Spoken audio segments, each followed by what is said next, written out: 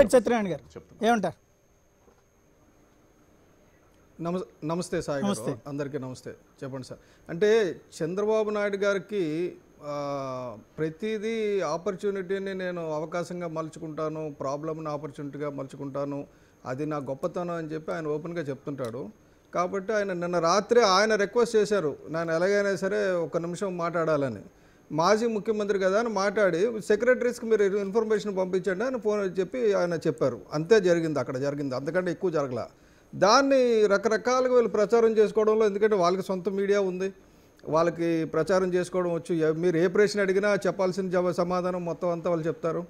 అంటే ఇప్పుడు ప్రస్తుతానికండి మోడీ గారు తీసుకున్న నిర్ణయం వల్ల మనం గట్టెక్కామన్నది నిర్వివాద అంశం. అది విరోధులు కూడా ఎవరైనా చంద్రబాబు నాయుడు గారే కాదు కాంగ్రెసే కాదు అందరూ కూడా ఒప్పుకున్న విషయం ఏంటంటే ఒక బోల్డ్ నిర్ణయం తీసుకున్నప్పుడు ప్రజలు సమర్థిస్తారండి. ప్రజల్లో ఉన్న గొప్పతనం ఏంటంటే దేశం ఇబ్బందుల్లో పడినప్పుడు ఇప్పుడు కూడా మన భారతదేశం ఎప్పుడు సమైక్యంగానే ఉంది. ఎప్పుడు విడిపోలే. ఏ ఏ పరిస్థితుల్లో ఒక వార్ వచ్చినా ఒక ఎక్స్టర్నల్ ప్రాబ్లం ఏది వచ్చినా సరే రాత్రి విదేశాలను తరిగి కొట్టడంలో అయినా సరే మనం అంతా కలిసి ఉన్నాం.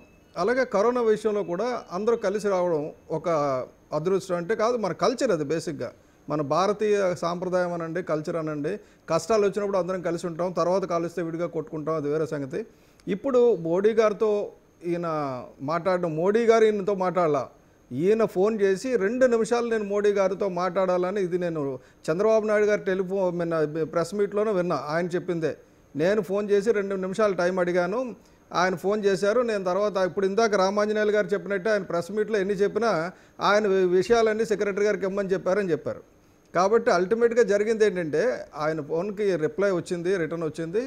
ఆయన రిక్వెస్ట్కి ఆయన జాతిని ఉద్దేశించి ప్రసంగించే ముందు ఆయన మాట్లాడారు. నెక్స్ట్ మోడీ గారు ఏ నిర్ణయం తీసుకున్నా అందరితోటి ఒక ఐదుగురు సభ్యులు ఉన్న పార్టీతో కూడా నేను మాట్లాడతానని చెప్పి మాట్లాడి ఎందుకంటే ఇక్కడ పట్టింపుకు పోలేదు ఆయన. ఇక్కడ నేను నాకు ఇంత మెజారిటీ ఉంది అని చెప్పి ఇప్పుడు జగన్మోహన్ రెడ్డి గారి లాగా వెళ్ళలేదు ఆయన.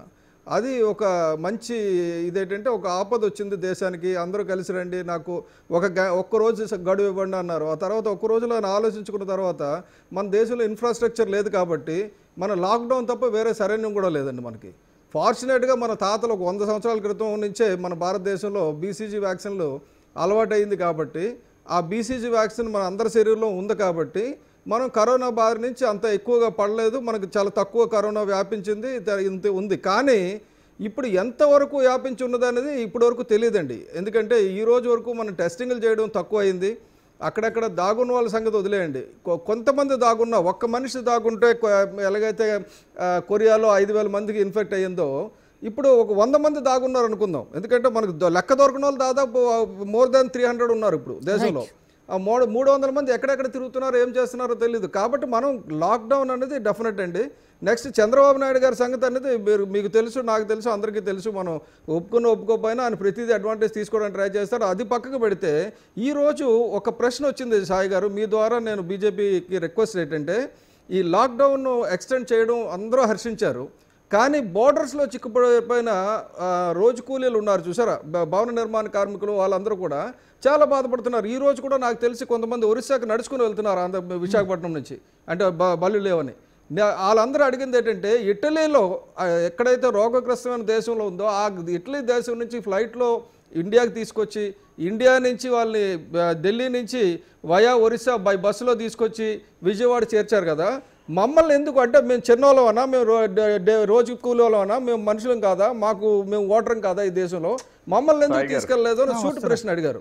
అయితే మోడీ గారు రేపటికల్లా రేపటికల్లా ఒక్కడండి రేపటికల్లా ఆయన ఏర్పాటు చేస్తున్నా అన్నారు. నాకు తెలుసు అంటే ఇది చాలా కష్టమైన పని. మనం ప్రశ్నించడం ఈజీ కానీ నేను రిక్వెస్ట్ చేసేది ఏంటంటే వీలైనంత తొందరలో ఆ క్వారంటైన్ పద్ధతులు అనుభవిస్తూ ఆచరిస్తూ దాన్ని ఎలా తీసుకెళ్ళాలో చూడండి. ఎందుకంటే ఇప్పుడు మన మన ఎలక్షన్ కమిషనర్ని తీసుకొచ్చినట్టు వితౌట్ క్వారంటైన్ తెలంగాణకి మళ్ళీ ఆంధ్రప్రదేశ్కి తీసుకొచ్చారు. అలా కాకుండా ఈ ఇక్కడ ఈ కూలీలకి తిండి దొరికేటట్టు ముందు ఇందాక వాళ్ళు చెప్పింది ఏంటంటే కరోనా వచ్చి చేస్తామో తెలియదో లేదు మాకు తెలియదు కానీ తిండి దొరక ఇబ్బందులు పడుతున్నాం అంటున్నారు. అటువంటి వాళ్ళని అన్ని రాష్ట్రాల ముఖ్యమంత్రులతో మాట్లాడి ఆ రాష్ట్రాలకు వెళ్ళేటట్టు ఆ రాష్ట్రాల్లో వాళ్ళకి కొద్దిగా ఆదుకునేటట్టు అది చూడమని చెప్పి మీ ద్వారా నేను రిక్వెస్ట్ చేస్తున్నానండి. రైట్ మధుసూదన్ గారు. సార్ ఇప్పుడు సార్ ఏది మాట్లాడారు? అంటే ఈ ఎవరైతే చిక్కు బార్డర్లో చిక్కున్న వాళ్ళు ఇతర ప్రాంతాల్లో చిక్కున్న విషయంలో ఆయనది ఎయిటీ పర్సెంట్ నేను ఏకీభవిస్తాను. కానీ మరీ టూ హండ్రెడ్ పర్సెంట్ ఆ విధంగా మాట్లాడడం కేంద్రం ఏం చేయలేకపోతుంది. వాళ్ళ గురించి ఆలోచించడం లేదనేది సరైన పద్ధతి కాదు. ఆల్మోస్ట్ ఆల్ మనందరికీ అందరి. అంతో ఇంతో ఉన్న పెద్దలే ఇప్పుడు చర్చలో ఉన్నారు. నేనే నేనేమంటున్నానంటే కేంద్రం దృష్టి దీనికంటూ ఒక ప్రత్యేకమైన కేంద్ర స్థాయి విస్తృ అంటే ఐ మీన్ కేంద్ర మంత్రుల స్థాయి కమిటీని వేయడం జరిగింది. రెండు రెండు రాష్ట్రాలకు ఒక్కొక్క ఇన్ఛార్జిని వేయడం జరిగింది. పార్లమెంటరీ సెక్రటరీ ఐఏఎస్ పైన చీఫ్ సెక్రటరీలో కూడా ఒక ఇన్ఛార్జిని వేయడం జరిగింది. అలాగే నిర్మలా సీతారామన్ ఒక చిన్న పాయింట్ అలాగే మన రాష్ట్రానికి గారు జీవీఎల్ నరసింహారావు గారు. ఎవరైతే ఉండండి ఒక మాట పాయింట్ చెప్తున్నా ఒక వినండి. వాళ్ళు నేను ఎందుకు ఒక చెప్తున్నానంటే డైవర్ట్ వినండి, ఒక- దాంట్లో ఒక- ఎవరెవరు వాళ్ళందరినీ minute. నియమించిన. ఇవాళ నేను డైవర్ట్ కావడాలా వాళ్ళ దృష్టికి వెళ్ళినటివి వచ్చారు. ఇంటర్నేషనల్ వాళ్ళందరూ కూడా మా ఊళ్ళకి అదే వాళ్ళ గురించే గొడవ కూడా మాట్లాడుతున్నా చేశారు. వాళ్ళ గురించి మాట్లాడుతున్నా అదే అనేది ఇక్కడ ఎవరెవరిని అపాయింట్ అనేది కాదు ప్రాబ్లం ఏంటంటే కేంద్రం ఒక దృష్టిలో.